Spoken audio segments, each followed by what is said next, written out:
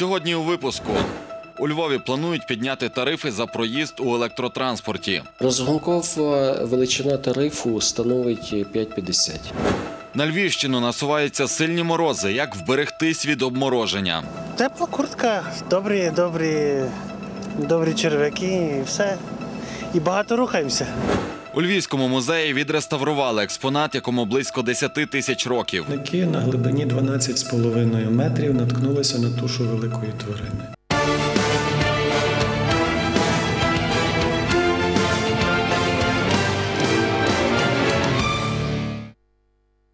Доброго вечора. Час підсумувати день у студії Віталій Гамадин. Смерть прикордонника, котрий вчора загинув під час навчань у великих мостах, трапилась через необережність. Про це сьогодні повідомив військовий прокурор Львівського гарнізону. Причиною смерті стало влучання у голову осколка від снаряду. Керівнику стрільб повідомили про підозру вчиненні кримінального правопорушення. Інкримінують перевищення службових повноважень. Він може отримати від 7 до 10 років в'язниці. керівник стрільб, е, полковник Державної прикордонної служби, скажімо так, щоб максимально наблизити е, до бойових умов е, самі навчальні стрільби, допустив е, е, знаходження особового складу е, у кількості шести осіб в бліндажі, який знаходиться на лінії вогню е, разом з ціллю. Внаслідок пострілу е, з е, РПГ 7В е, від- е, відбулося пряме попадання в бліндаж, внаслідок чого від е, осколку загинув військовослужбовець. А на площі біля пам'ятника Шевченка львівські активісти встановили електронне табло, яке показуватиме кількість днів, що минули з часів Революції Гідності. На електронному циферблаті також зображено кількість осіб, які за офіційними даними відповідальні за трагічні події, що відбувалися на майдані, а ще кількість жертв та поранених під час Революції Гідності. Додатком до цього табло є QR-код, відсканувавши який можна через смартфон перейти до електронного звернення закликом пришвидшити розслідування розстрілів на майдані до президента, прем'єр-міністра, народних депутатів та керівників силових структур. Наразі в графі покараних відображається цифра 1, а віконечко відліку днів від завершення революції гідності показує 1462 дні. Ми регулярно проводимо таку акцію е, по різних містах України, щоб нагадати людям про те, що в принципі ці люди, які відповідальні за злочини, вони досі не покарані. Е, Тому що ну, в принципі, час він притуплює. Ми всі повертаємося до нормального життя, ми починаємо про це забувати. І от, власне, ми хотіли показати, нагадати, що скільки днів минуло з часу розстрілів Небесної Сотні. У ратуші визначили долю монумента слави. Аварійну стелу демонтують, аби провести реставрацію, і передадуть до меморіального музею територія терору. Також міська рада замовить розрахунки для визначення проблем території довкола монументу та оголосить конкурс на її розвиток. Монумент слави, згідно з документами, складається з чотирьох частин, кожна з котрих символізує певний період в історії радянської армії. Та відтепер на одну частину експозиції поменшає, розповідає заступник міського голови Львова. Демонтують найбільшу стелу. Рішення виконавчого комітету було замовлено обстеження, де Галицьку районну адміністрацію було визначено замовником. Після цього ми отримали висновок політехніки. Галицька районна адміністрація має бути замовником проведення цих першочергових протиаварійних робіт. Ми говоримо про стелу завишки 30 метрів, де є гостроаварійні елементи. Окрім того, пунктом другим цього рішення ми визначаємо те, аби провести містобудівний аналіз загалом цієї території, тобто щоб дати відповіді на те, яким чином загалом вона має розвиватись. Ну і крім того, це так само проведення конкурсу загалом на е, благородження і розвиток цієї території. Скульптор Ярослав Мотика проєктував монумент. Він розповідає, демонтаж може потребувати значних коштів, тому краще було би внести зміни і зробити його пам'ятником борцям за волю України. У мене думка така. Е, Я е, так як не, не вдалося зробити ту ідею, яку я хотів, оголеного воїна, такий символ народної сили, то я за ним не дуже переживаю, якщо навіть його і, і зн- знесуть. Але е, ну, По-перше, то ну, великі затрати, кошти, щоб знести його. Я думаю, якщо вони навіть за волю України не поставили, чи вони будуть мати кошти знести. Історик Орест Круковський вважає, оскільки пам'ятник прославляє подвиги радянської армії, про що свідчить експозиція монументу, його треба демонтувати. Зберегти та передати музеям варто лише найцінніші з погляду мистецтва деталі. момент перероблення пам'ятків, пам'ятників під е, нові ідеї і нові ідеологічні е, навантаження. е, Ну, це не є дуже правильно. В даному випадку е, перероблювати щось на колишньому стрийському кладовищі. Фактично, коли будувався пам'ятник, там же ж було кладовище, там викинули масу кісток людей. Там на тому кладовищі були похоронені е, також досить багато відомих українців. Ну, не знаю, я не, я не думаю, що це хороша ідея. Нагадаємо, питання про демонтаж монументу слави підіймали на одному із засідань міськради ще у 2007 році, але у той же день дискусію припинили. Руслан Шклярук, Тарас Фомін. Новини. Майже удвічі дорожче у Львові може зрости вартість проїзду в електротранспорті. У ЛКП Львів Електротранс напрацювали зміну тарифу і передали його в міське управління транспорту. Коли та наскільки чекати здорожчання? Дивіться далі у сюжеті.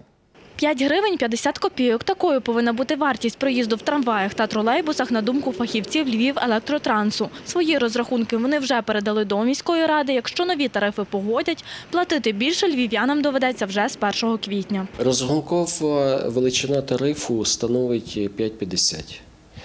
Е, Зумовлено в основному ростом е, вартості електроенергії і підняттям мінімальної заробітної плати. Є процедура, яка передбачає і громадські слухання, і затвердження в антимонопольному комітеті. Відповідно, ми стартували з цими роботами. Будемо обговорювати, будемо захищати. Це кажуть, буде відбуватися все публічно. Ще однією складовою підвищення тарифу є витрати на ремонт рухомого складу та виробничих приміщень. Кажуть, у підприємстві, до прикладу, наразі коштів вистачило лише на відновлення кімнат для відпочинку працівників депо та центральної диспетчерської. Ми е, виконуємо поточні капітальні ремонти приміщень, виробничі, побутові, е, також приміщення для того, щоб е, людям було комфортно в нас працювати. У нас є багато підрозділів. Структурних підрозділів це і тролейбусне депо, це і трамвайне депо. Ну, всюди треба покращувати умови. А от львів'яни, яких ми опитали, до можливого подорожчання ставляться по-різному. Кажуть, платити більше готові, лише якщо їздити в трамваях та тролейбусах стане комфортніше. Якщо це піде на користь трамваю і міському бюджету, то це варто. Ну, можна збільшити. Якщо покращать умови, будь ласка, буде за що платити, будемо. Зарплати наші не підвищуються, ні пенсії, так що трамваї взагалі підвищувати нічого не потрібно. Нагадаю, востаннє тариф на проїзд в електротранспорті змінювали у вересні минулого року. Тоді вартість разового загального квитка підняли з 2 до 3 гривень, а студентського та учнівського збільшили на 50 копійок. Олена Данило, Роман Гудь. Новини. За інформацією Львівського регіонального центру з гідрометеорології, впродовж 24-27 лютого на Львівщині очікується різке зниження температури до мінус 20. Як вберегтись від обмороження, правильно одягатися та харчуватися, дізнавався Олег Корейба. У Львівському регіональному гідрометцентрі попереджають про різке зниження температури. На Львівщині 24-27 лютого очікується зниження температури повітря. 24-го ми очікуємо вночі 10-15 морозу, місцями 18-20, в день 5-10. Надалі температура буде знижуватися 25-го 12-17 вночі, місцями 20, в день 7-12. 26-го буде найхолодніше ніч і день також 15-20 морозу, нічна температура місцями 25-28, в день 9-14 морозу. У головному управлінні ДСНС у Львівській області радять утриматись від тривалих мандрівок, адже кількість обморожених цього року є значною. Від початку року до медичних закладів е, було госпіталізовано 50 людей з ознаками обмороження або переохолодження, і 21 людина вже померла. Пам'ятати про те, що зловживання алкоголем та цигарками на морозі прискорює е, тепловтрати, і відповідно людина може швидше замерзнути. У львів'ян, яких ми запитали, є свої способи зігрітися в морозну погоду. Обираю більш е, грубшу одежу і все. Тепла куртка, добрі, добрі, добрі черв'яки і все. І багато рухаємося. Спорт. Одяг так, термоодяг, е, звичайно, але якщо ви займаєтесь спортом, ну то ви менше відчуваєте холод. Важливо під час морозів правильно підібрати одяг. Роман Балук розповідає, робити акценти потрібно на відкриті ділянки тіла та не закутуватись. Максимально звернути увагу на якість одягу і не вдягати його занадто багато. В туризмі є таке правило, як шаровість. Тобто, коли ви вдягаєте на перший шар термобілизну, шерстяну або напівсинтетичну термобілизну, якщо ми говоримо про місто, на другий шар ви вдягаєте якби основний утеплювач, е, проміжний це там флісовий светр. От, і вже третій шар це є тепла куртка. Е, Справді тепла, там пухова, наприклад, або там куртка з додатковим утепленням. Як правильно підібрати раціон у зимову пору року, знає Ірина Базилевська. Дієтолог каже, найкраще це збалансований раціон харчування. Звичайно, під час е, зимових холодів бажано інтуїтивно вже кожна людина відчуває, що потрібно щось таке, щоб зігрітися, правда? А тобто, звичайно, перевага якимсь першим стравам, е, гарячим стравам, там борщі, супи. Краще, щоб вони були можливо навіть на якомусь такому легенькому бульончику. Тобто ми варимо там чи курочку, чи індика. Сама от якби людина вона хоче зігрітися і більше енергії витрачає на те, щоб зігріти своє тіло. Відповідно, цю енергію треба звідкись брати. І логічно, ну якби ми починаємо розуміти, що потрібно якісь такі продукти їсти, які довше наш організм починає травити. Відповідно, він довше зберігає цю енергію. Тому це звичайно м'ясо, це риба, а це можуть бути, наприклад, там е, крупи, які довго перетравлює організм. Нагадуємо, у Львові в приміщенні центру обліку та нічного перебування бездомних осіб, що на вулиці Кирилівській 3А, щодня діє пункт обігріву. При зниженій температурі до 10 градусів у місті працюють додаткові пункти обігріву на вулиці Сельській 15, Городоцькій 163А та Личаківській 56. Олег Корейба, Володимир Стадник. Новини. Далі у випуску про те, як знайти свій родовід та львівських чемпіонів. Дочекайтеся. 40% заяв, які подають у історичний архів нашого міста, мають позитивний результат. Інші ж бажаючі мають змогу самі досліджувати важливе для них питання у читальній залі. Користуватися можна унікальними рукописами 16 століття або ж метричними книгами, які колись вели і зберігали в церквах. Сьогодні найпопулярнішими запитами у архіві є визначення родоводу жителів Львівщини або ж дослідження істориків різних країн, каже заступник директора історичного архіву Євгенія Лісовська. Архітектурний, не тільки для надання е, запиту до столу довідок необхідно кожному кожній людині мати документ, який посвідчує особу, і знати вихідні відомості, необхідні для наведення довідки. Це в першу чергу місцевість, де відбувалася подія, тобто е, акт хрещення, шлюбу і так далі. Дату, хоч би приблизно. Приїжджають з різних країн основні іноземні дослідники. У нас приїжджають з Польщі. Також є дослідник це зараз з Румунії, яка навчається в Сорбоні в Парижі. Ем, Є дослідник з Японії, з Німеччини, з Австрії. Тематика дуже дуже є широка, тому що наш архів зберігає досить давні документи і документи австрійського періоду. У Львові в природознавчому музеї відреставрували до історичного носорога, якому близько 10 тисяч років. Таких експонатів на території Європи лише два у Львові і у Кракові, проте Львівський був знайдений першим. Носоріг буде частиною експозиції, яку покажуть вже у цьому році. А наша знімальна група бачила його сьогодні. Самку волохатого носорога знайшли у 1907 році робітники, які добували поклади нафти на території Івано-Франківської області. Робітники на глибині 12,5 метрів наткнулися на тушу великої тварини. Вони її, оскільки то були місцеві селяни, які не мали відповідної освіти, вони вирішили, що це був віл, який впав в шахту і потім був засипаний, а шахту поновно відкопували. Е, Вони його порубали, шкура була настільки в доброму стані, що вони порозбирали її собі на постоли, а все решта викинули на відвал. Андрій Бокотей розповідає, поряд проходив чоловік, який зрозумів, що рештки завеликі для розмірів вола, і звернувся до науковців, які з'ясували, що це залишки носорога. Це перша така знахідка на території Європи, і зберігся він через те, що поклади нафти стали так званим консервантом для біологічного матеріалу. З часом експонат запилився, і щоб відновити та зберегти його, віддали на реставрацію. Його почистили. Е, Вся туша була просочена антигрибковими розчинами для того, щоб е, в ній не завелися ніякі шкідники.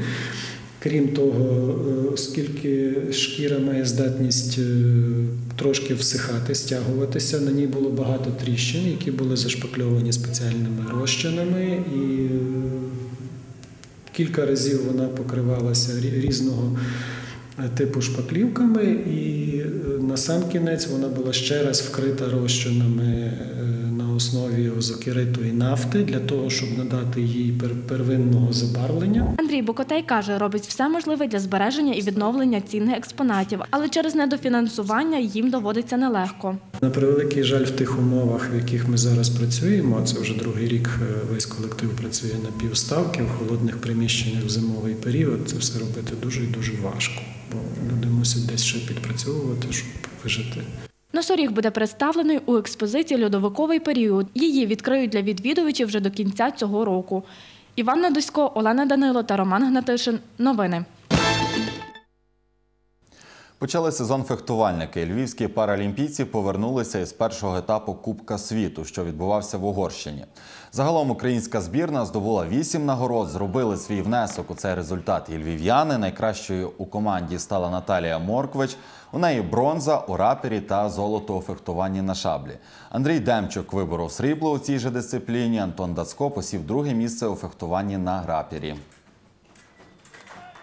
На рапірі програв зараз Альберто Камалово з Росії, і, чесно кажучи, це, це той суперник, якого я колись вигравав. Зараз е, трішки я поступаюся. Е, Також мене е, розчарував трошки мій виступ в черговий раз на шаблі, тому що другий вид мій він вже довший період. Я без нагород. Незважаючи, що я паралімпійський чемпіон на шаблі в цьому виді, трішки мені зараз стало, ну не знаю, слабинка, трошки гірше виступає. Та відпочивати нашим фехтувальникам ніколи 8 березня їдуть на другий етап Кубка світу в Італію. Пізніше наступний старт е, ми пропускаємо. Е, Після пізи маю на увазі. Це буде е, в Монреалі в Канаді. І аж ми влітку поїдемо на етап Кубка світу в Варшаву. Призери чемпіонату світу до Львова повернулися лучники. У складі української збірної було семеро львів'ян. Усі вони стали призерами змагань. Багато нагород здобули юніори. На їхньому тренуванні побували і наші спортивні журналісти. Для Орисі це був перший міжнародний старт. Хвилювання було дуже сильне, дуже сильне. Е, ну, для всіх чемпіонатів світу це дуже важливо зазвичай. І ясно, що хвилювалася не тільки я, хвилювалася моя команда, хвилювалася вся збірна України, і тут наші хвилювалися за нас. Та хвилювалася дарма, адже у командних змагання жіноча збірна здобула бронзову нагороду. У складі була ще одна львів'янка Жанна Наумова та харків'янка Катерина Мазурчук. У особистому заліку виступили трохи гірше. Я зайняла п'яте місце, Наумова Жанна шосте. Е, загалом, ну як хвилювання, ясно, воно брало дуже високі ці. І, на жаль, треба було збиратися, треба було добре стріляти. Тренера нас підтримували. Е, що на командах, що особисто ми стріляли сильно. На жаль, були дівчатки, які в той момент були сильніші за нас. Чоловіча команда юніорів, у складі якої було двоє львів'ян Олександр Панцев, Роман Шеремет, а також чернівчан Іван Кожакар, здобули срібло. Зараз на усіх юніорів чекають посилені тренування. На зараз юніорські змагання закінчились, почнуть відбори е, на цей на кадетські змагання. По своїй категорії буду виступати. У зараз буде дуже багато зборів, там молодіжна олімпіада буде. Так що зараз по кадетах. В особистому заліку Олександр Панцеру здобув бронзу, а от чернівчан Іван Кожакар золото. Алла Васьковська, Володимир Стадник. Новини. Кажани перемагають на виїзді. У матчі 11-го туру чемпіонату України з волейболу львів'яни здолали МХП Вінниця. Шансів на перемогу суперникам не залишили. Рахунок першої гри 3-0. Завтра о 12.00 вінничани спробують взяти реванш. І таким був день п'ятниці. Вже завтра традиційно о 19.00 підсумує тиждень моя колега Ірина Гоць. Я ж з вами прощаюся.